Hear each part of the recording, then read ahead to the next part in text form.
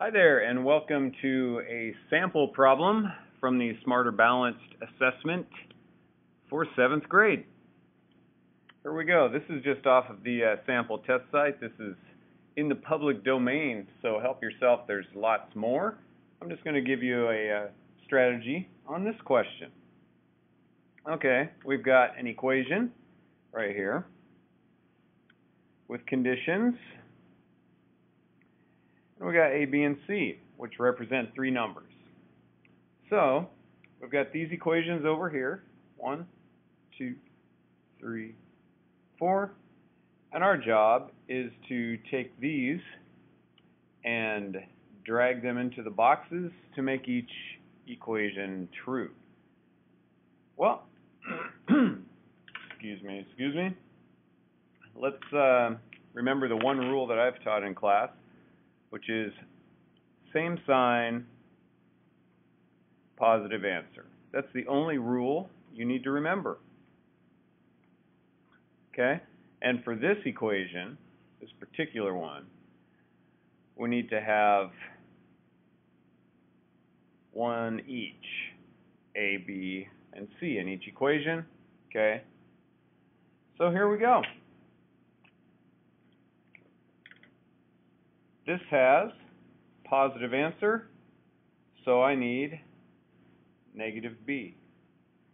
Same sign, positive answer.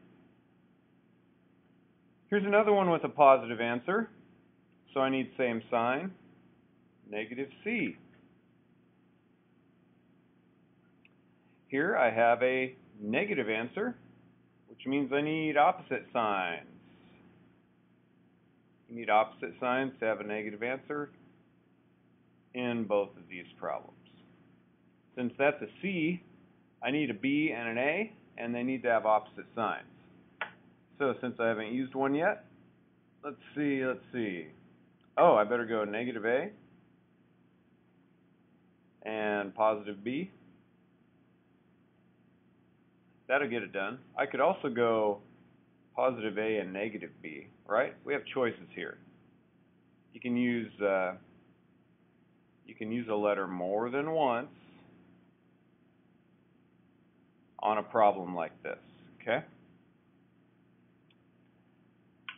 And down here, I can have negative C over positive B, or I could have positive C over negative B. You know what else we could do down here? Well, that's it. Okay, that takes care of it. So, simple problem. It could look very confusing, which is uh, what I think they're hoping for here. There's uh, one, two, three, four, five, six answers that you have to complete. But uh, the bottom line is, if you remember same sign, positive answer, make sure you have an A, a B, and a C in each thing. And hey, if you had to, you could do a simple sample problem like this to uh, test your theory out. Okay? For example, if I had negative 2 times negative 3, I would get positive 6, right? That works. So you can test your uh, theories out over here that's going to do it for this one. Stay tuned for more. There's more coming. All right, good luck.